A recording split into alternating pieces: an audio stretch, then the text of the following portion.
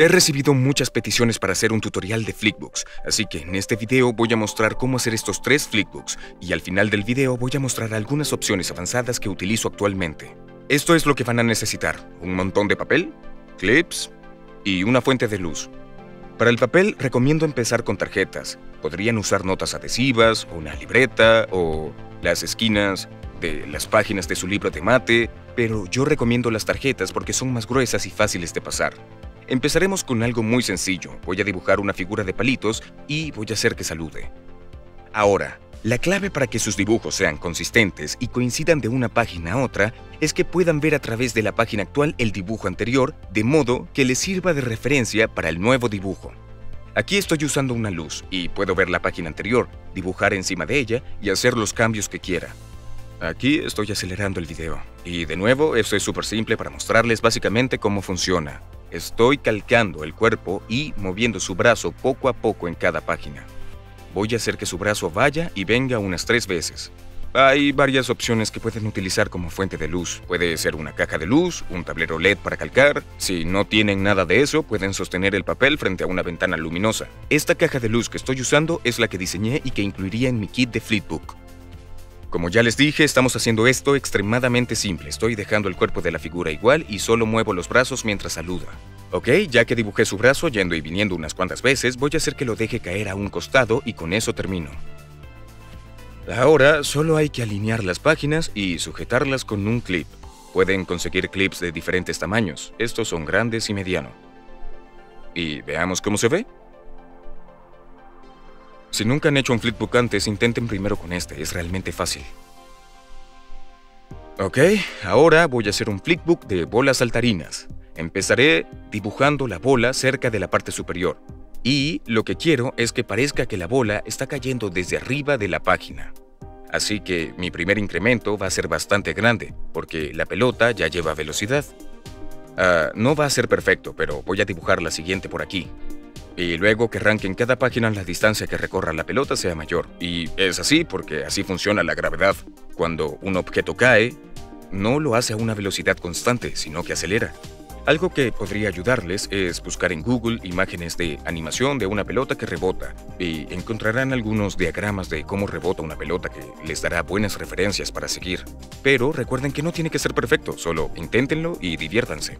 Y ahora en esta página estoy haciendo la pelota más bien de forma ovalada. Esto ayuda a que parezca que se está moviendo aún más rápido en este fotograma. Y cuando la pase se van a dar cuenta. Es más lo que se percibe que lo que se ve. Y ahora el impacto cuando golpea el suelo y se aplasta. En la siguiente página está empezando a rebotar.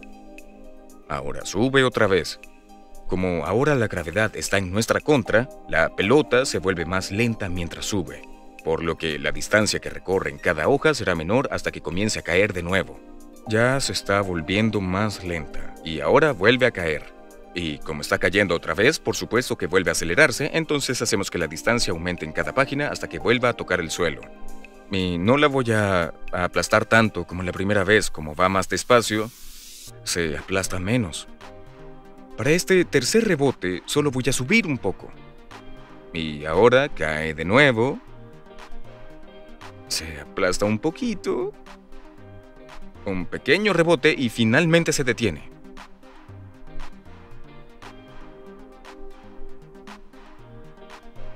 Ok, pues vamos a ver cómo se ve. Y ahí tenemos nuestra primera pelota saltarina. Ok, una vez más en cámara lenta para que puedan ver exactamente lo que pasa en cada página.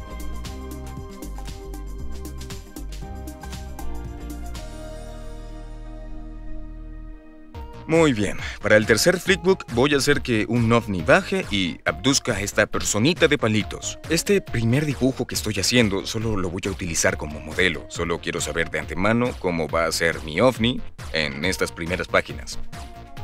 Solo voy a tener a la figura de palitos de pie antes de que aparezca el ovni. Y ahora, en esta página, el ovni empieza a aparecer, así que solo le vemos la parte inferior. Y aquí estoy calcando mi modelo para ayudarme un poco. Y puedo calcar este mismo dibujo conforme baja un poco más. Calcar un modelo como este no es algo que tengan que hacer forzosamente, pero a veces ayuda si quieren una forma fácil de asegurarse de que sus dibujos se vean iguales de una página a otra. A veces tienen un objeto que se mueve por la página y no es necesario que cambie de forma. Todo lo que tiene que hacer es pasar. Y en ese caso, calcar un dibujo a medida que avanza es muy fácil. Ah, en este punto ya no estoy utilizando el dibujo modelo, solo estoy usando la página anterior como referencia. Recuerden que no deben preocuparse demasiado porque todo salga perfecto. Lo más importante es divertirse. Aquí el rayo de energía está empezando a aparecer por debajo del ovni y quiero que aparezca con bastante rapidez por lo que solo estoy dibujando entre fotogramas antes de que llegue completamente al suelo. Y luego, cuando la figura de palitos empieza a subir, pueden ver que lo estoy estirando porque está subiendo muy rápido. Siempre que algo se mueva con rapidez, pueden intentar estirar o aplastar un poco el dibujo a ver si ayuda con la sensación. Ok, ahora vamos a ver sus piernas. Ahora el rayo regresa.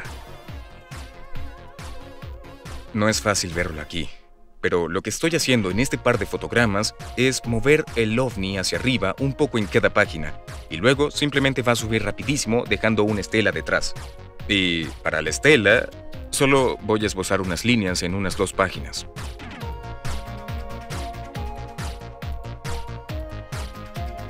Y eso es todo. Veamos cómo quedó.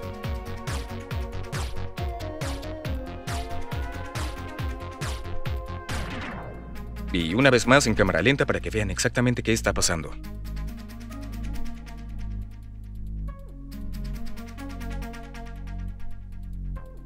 Esa es la base que les va a ayudar a empezar. Y mencioné antes unas opciones avanzadas que yo utilizo actualmente. Este es un papel a la medida que hice. Es libre de ácido, es bastante suave y se siente muy bien cuando lo pasas. Los clips son excelentes y los uso mientras hago el flickbook, pero una vez terminado, me gusta unirlo con estos tornillos de latón. Me gusta mucho cómo se ven. Creo que le dan un muy buen acabado y mantienen el papel perfectamente alineado. Y no puede faltar mi caja de luz a la medida, que diseñé específicamente para hacer flickbooks. Todo esto es parte de mi kit para flickbooks. Voy a poner el link en la descripción del video. Este es mi tutorial básico de flickbook, espero que les ayude. Y si tienen alguna pregunta, por favor déjenla en los comentarios, y haré lo posible por responder. Y si creen que este video fue útil, por favor suscríbanse y denle al botón me gusta. Tengo muchos videos de flickbooks y animación en camino. Muchas gracias por ver y nos vemos en la próxima.